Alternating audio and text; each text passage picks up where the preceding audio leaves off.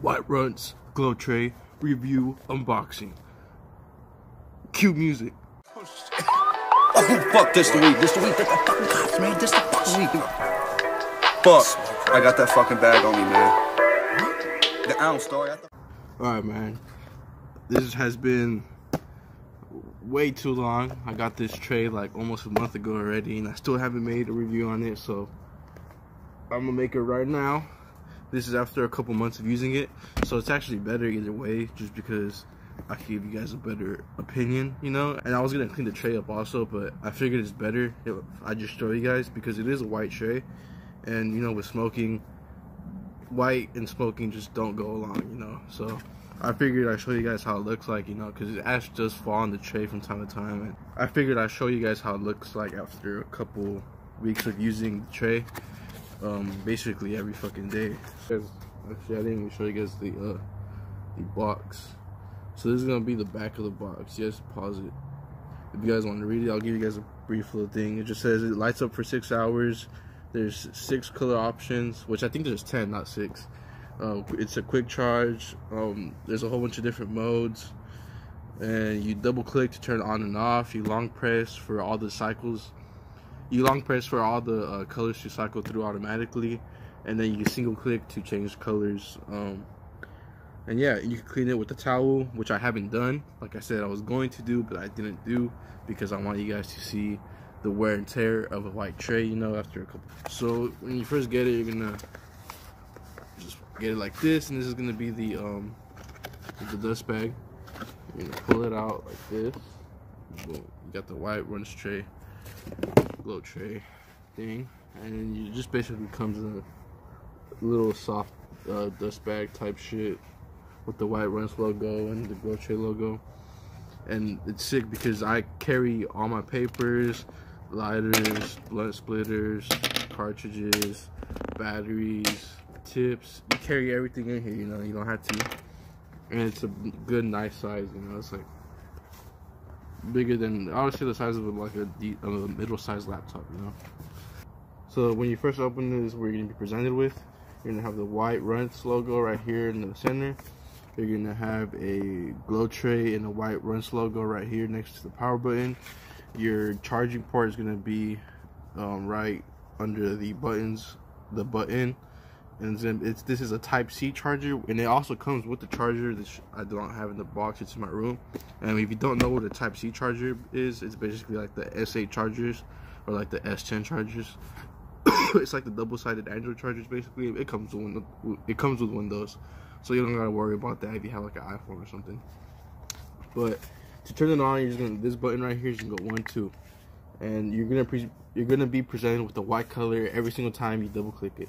So you can change to the next color, turn it off, and it's still gonna be presented with white. So after white, you have like um I don't know I would say this is like a yellow green type of color like I don't know it's like a like a light green and then you're gonna have like an orange and then you're gonna have a red you're gonna have pink purple you're gonna have like a black light color. You know when you go laser tagging it's like the black light? This is what that is. And you're gonna have like a like a blue. Then you're gonna have like a teal.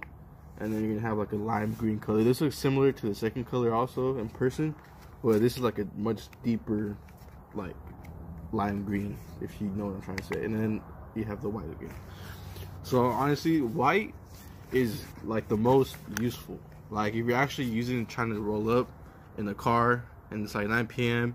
and you're headed towards Wingstop, like I was with my homie last time, or we were headed somewhere to eat. I forgot where, but I used the fucking glow tray in the dark in the car. We had to, you know, you don't have to turn the top light on and be all suspicious and shit. You just fucking double click it, keep it on the white setting because that's the most useful setting for actually rolling up in the dark. Any other color, I would say purple maybe is also a good color. Purple and pink are good colors to roll up with at night. Purple, pink, and white are probably the best colors. Any other color, maybe green also, would be a good color, but any other color is too dark. That's just more for show.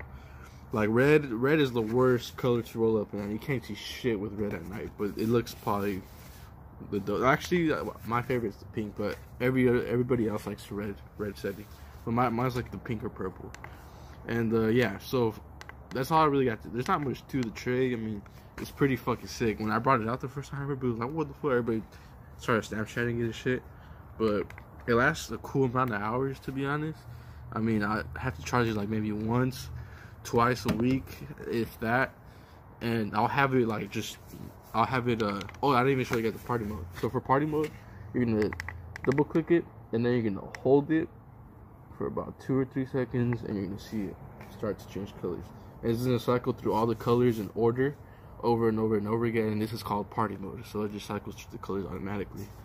And uh, I'll have it chilling like this while I'm smoking the blunt, you know, for a cool 20, 30 minutes.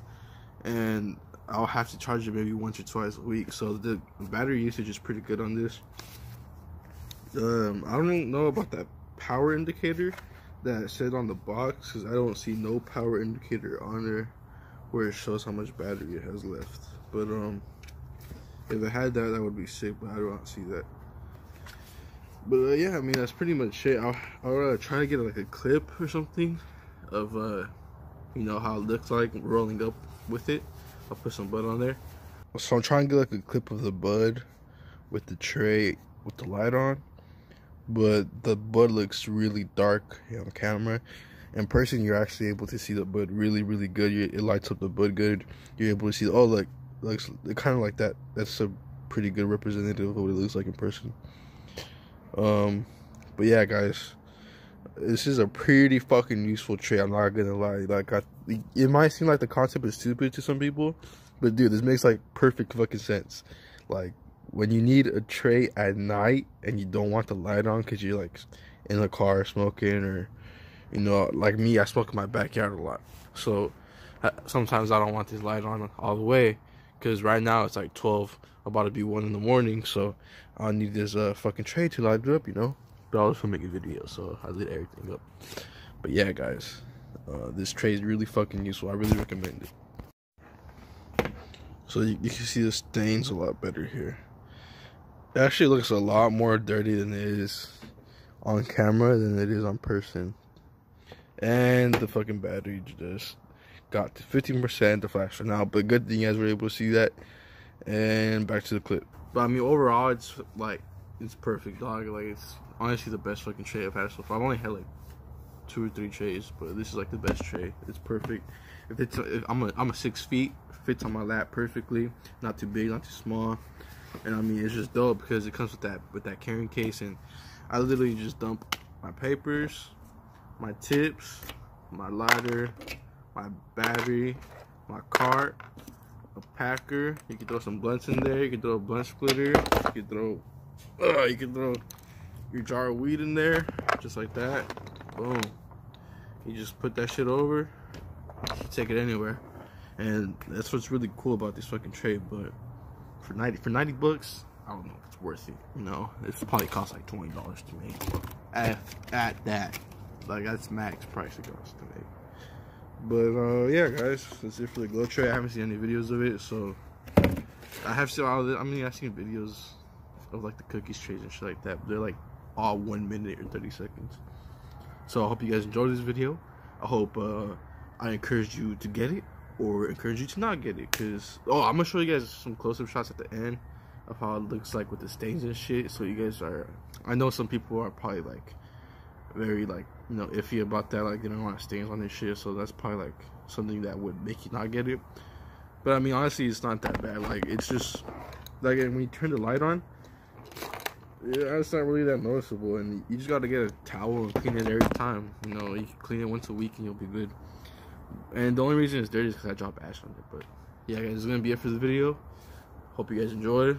Make sure to uh, you know subscribe and all that shit. And uh, it's gonna be it for the video, guys. Peace. When we in the field, it's a touchdown. You ain't know your bitch is a bust down. She gon' turn around and get turned down.